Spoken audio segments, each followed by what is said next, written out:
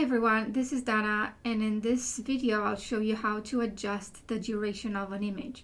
So one way to do this you may already know is to bring in your image and then put the image on the video track and then you can just drag the edges to oops to adjust the duration.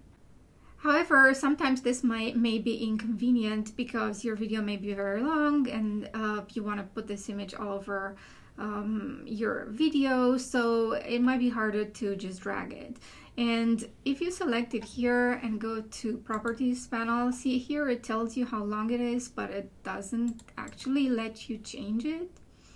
Um, so here's how you actually do this. So let's close this, let's remove the image. So what I do is I just bring in the image again and then right after you bring it in you open the properties panel and bam now it lets you adjust it. So if you want to have like uh, 20 minutes then your image can be 20 minutes. So then you can drag it in here and you can see I have this humongous 20 minutes image uh, that's it. I hope this will be helpful. Thanks.